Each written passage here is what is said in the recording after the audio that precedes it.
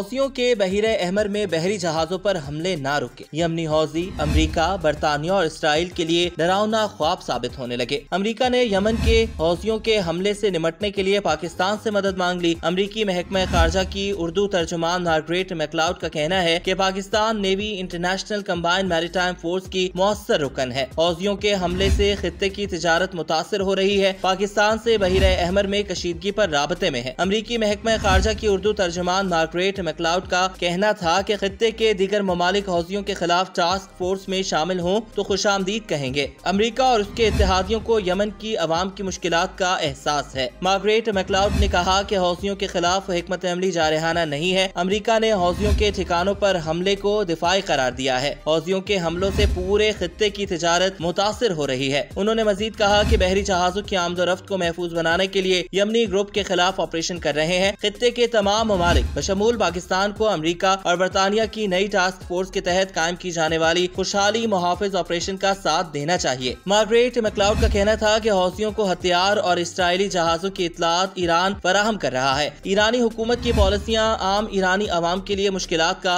बायस है। उन्होंने मुतालबा किया की ईरानी हुकूमत मशरक वस्ता में इश्तियाल अंगेज और अदम इस्तेकाम की कार्रवाइयाँ बंद करे। उधर बरतानिया के ऑयल टैंकर्स पर हौसियों के हमले के बाद अमरीका ने यमन में हौसियों पर नया हमला किया है। इस अमरीकी हमले की सेंट्रल कमांड की जानब ऐसी तस्दीक की गई है। अमरीकी फौज के सेंट्रल कमांड ने कहा है की उन्होंने हौसियों के एक एंटीशिप मिसाइल आरोप हमला किया है। सेंटकॉम के मुताबिक इस मिसाइल हमले का मकसद बहिर अहमर में हदफ को निशाना बनाना था और ये लॉन्चिंग के लिए भी तैयार था। अमरीकी फौज के सेंट्रल कमांड का ये भी कहना है की अमरीकी फौज ने अपने दिफा में मिसाइल को मार गिराया और तबाह कर दिया।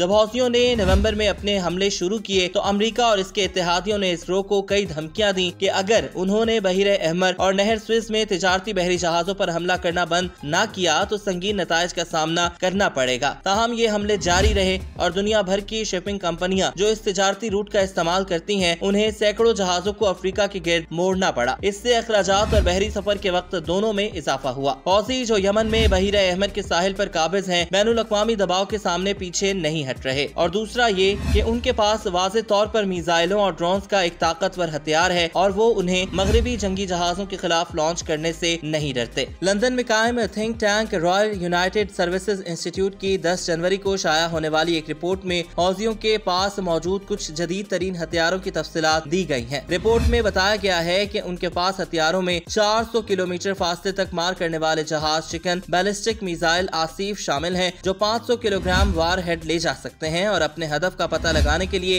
इलेक्ट्रो ऑप्टिकल सेकर का इस्तेमाल करते हैं। हौजियों के पास अलमंदब टू भी है। रॉयल यूनाइटेड सर्विसेज़ इंस्टीट्यूट की रिपोर्ट में बताया गया है की हौजियों को समुद्री नकलो हरकत के बारे में इतलात, समुद्री निगरानी करने वाले ईरानी जहाज़ एम वी बहशात से मौसू होती है, जो बहिर अहमर में आबनाए बाबुलमंद के करीब ऑपरेट करता है। ये आबी गुजर का बहिर अहमर में होने वाली आलमी तजारत का पंद्रह फ़ीसद बनता है। यमनी हुकूमत ने खबरदार किया है की ईरानी नवाज़ हौजियों के बहिर अहमर में हमलों से बुनियादी खुराक और अद्वियात की किल्लत पैदा हो सकती है। यमनी खबर एजेंसी साबा के मुताबिक हुकूमत ने वजर अजम मोइन अब्दुल मुल्क की जेर क्यादत एक इजलास तलब किया। इजलास में मुकामियों इलाकाई सूरत हाल का जायजा लेने समेत हौजियों की तरफ़ ऐसी आलमी तजारती आमदरफ्त और बहरी जहाजों आरोप हमलों के नतज पर गौर किया गया। इजलास में बताया गया की हौजियों के हमलों ऐसी बुनियादी खुराक और अद्वियात की दरामदाद को नुकसान पहुँच रहा है। लिहाजा उनके सदबाब के लिए मुतल हुकाम ढांचा तश्कील दें। इजलास में इस हवाले ऐसी उठाए जाने वाले इकदाम ज़रूरी मनसूबाबंदी की तैयारियों और उन पर अमल दरामद की निगरानी के लिए तमाम वजारतों और मुतल हुकाम को हिदायत जारी करने के अलावा कमेटी के क्याम का भी फैसला किया गया।